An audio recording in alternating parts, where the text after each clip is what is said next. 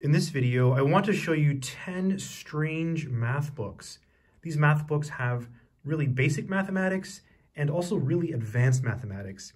And they're strange for different reasons.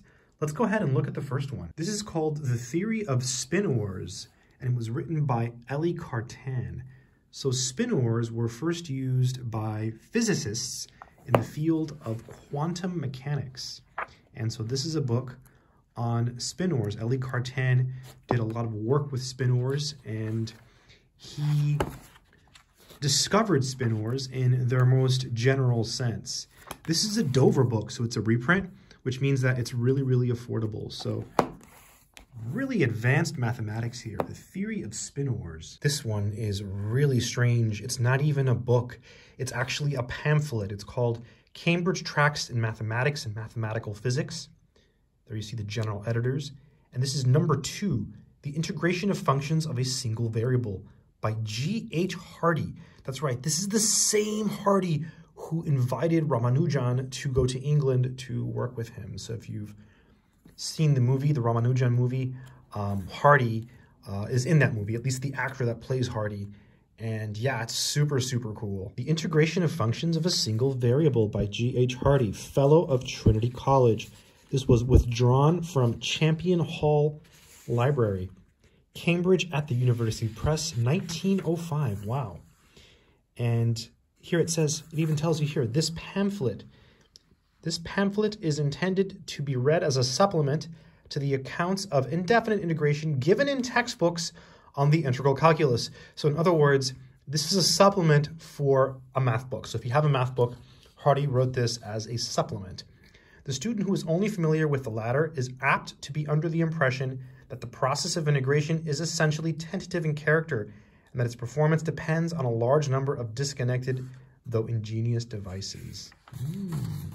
Here you can see some of the contents of this strange pamphlet.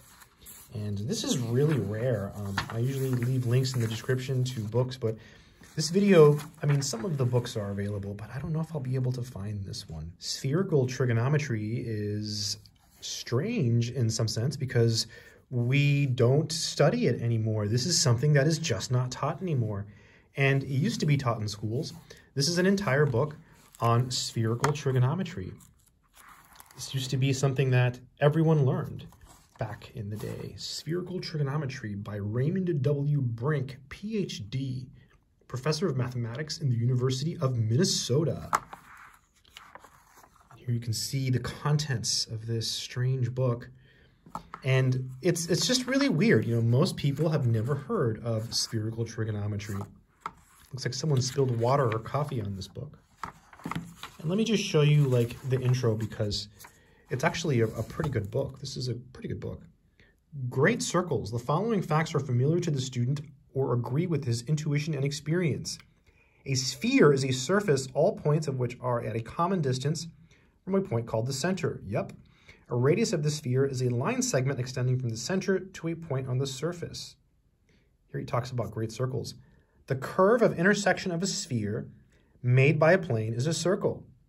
If the plane passes through the center of the sphere, the section is a great circle. Otherwise, it is a small circle of the sphere. So that's the definition of a great circle.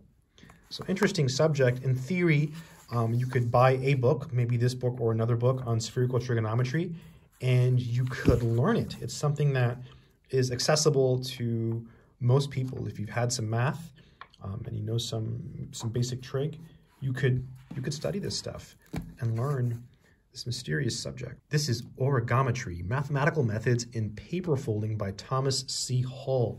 Let me show you the praise that this book has. This book is pretty much written by the authority. Tom Hull has always been the authority and historian on origami mathematics. In this beautiful book, he ties together a wide range of classic and modern results, grounding them in their rich history. Yeah, and this is pretty much going to be the standard for years to come, probably, on you know in the field of origametry. So this is a really interesting book. If you are into origametry or you're thinking about exploring some interesting mathematics with paper folding. This is some pretty serious mathematics, right? This is the book to get if you're interested in learning the mathematics of paper folding. I wanted to include this one because I'm always shocked by the fact that Ramanujan used this book and this book alone to learn mathematics. I mean, maybe he had a class and you know some other notes from a friend, but as far as books, the story is when he was 16, his friend lent him a library copy of uh, this book here uh, by George S. Carr, a synopsis of elementary results in pure and applied mathematics and this is volume one. And it's basically a list of results. It's got so much cool math in it. And it's just shocking to me that, you know, someone can pick this up and just, you know, do a lot of math. At the same time, this book is special in some sense because it has so much information in it. It's just result, result, result. And it's just stuff that you wouldn't expect. It's things that you don't see in a lot of modern books. Um, so it's a very, very interesting book. And this one's actually a reprint and widely available. This book literally contains strange mathematics. In fact, that's what it is. It's a book of counterexamples in topology. So you have all of the weird pathological examples that are good to know because they're counterexamples to certain things which you think might be true. You know, there's certain things that might be true in most cases, but then you find some topological space that has that property. And so you say, okay, well, it's not true in every case because here's an example where it's not true. And that's an example of a counterexample. Very, very wonderful book to have if you are studying topology. Its counterpart is Counterexamples in Analysis, another really strange book that has just a lot of strange mathematics in it. Um, it just has counterexamples, basically. Not all of it is super strange. Here's an example. Divergent series satisfying any two of the three conditions of the standard alternating series theorem. Okay. Interesting. And over here, that's that's that's a cool one. How about this one here? Uh, a convergent series A sub n and the divergent series B sub n such that, oh, interesting. Okay, such that these terms are bigger. So the terms are actually bigger. So it says, let A sub n be the conditionally convergent alternating harmonic series. Yep. Ah, perfect. Yeah, that works. So interesting, right? So interesting examples that, uh, and it's it's not just series, right? It's differentiation, it's infinite series, um, you have integration, you have limits. So it's got a lot of really cool stuff. Pretty sure this book had like a cult following in the 70s. People would mail in suggestions to the authors uh, of this book, uh, Swann and Johnson, and they would take those suggestions into account when writing um, their new book. Here it talks a little bit about that. They actually give you know their address where you can like mail them things, and you see it has multiple copyrights. So this book is pretty old. So it was reprinted several times, 75, 76, and 77 by Howard Swann and John Johnson.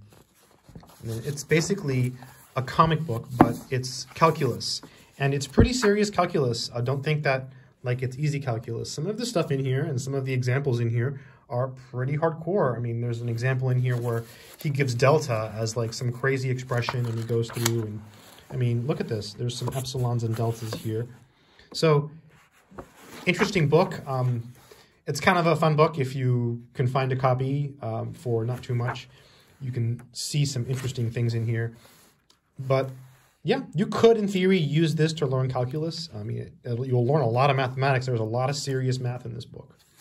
Don't let the funky mustache fool you. This is something that is taught sometimes. It's called Methods of the Theory of Functions of Several Complex Variables. So if you've taken complex variables and you've studied that, you might be wondering, well, what, what is it like to study um, you know, the theory of functions of several complex variables? And this book by Vladimirov uh, can tell you that. So this is a very, very advanced book. Um, it is definitely not for beginners. Here's just a quick look at the contents. This is math that probably most people have never seen. What does that say? Plurisubharmonic functions and pseudo-convex domains. Domains and envelopes of holomorphy. Integral representations. Yeah, so this is pretty advanced stuff. And I know that they teach this in grad school. I know that, for example, um, many, many years ago, and, I, am just going off memory here. So before, this is before I went to grad school, I remember looking at, I believe it was the University of Michigan, and I believe they offered a course on uh, functions of several complex variables. And I thought, wow, how interesting. How interesting is that? Because um, it's not something that you really hear about much, right? But you can actually get books on it. And this is an example of such a book. A Book of Curves by E.H. Lockwood, Cambridge University Press. This one still has the dust jacket. Someone left a comment, um, and it's been a while, and, and they said they asked me about this book, and I meant to reply, and I, I forgot to reply. So hopefully they watch this video. Um, maybe I can find the comment and reply. A Book of Curves, because I had talked about this book before, but I never I never showed it. And so special curves, it talks about all these special curves, the parabola, the ellipse, the hyperbola, the cardioid, the limacon, the astroid, the nephroid, the deltoid, the cycloid. Look at that, the right strophoid. Really strange, right? Like stuff that you wouldn't normally find in, you know, normal math books, right? So it's very, very bizarre.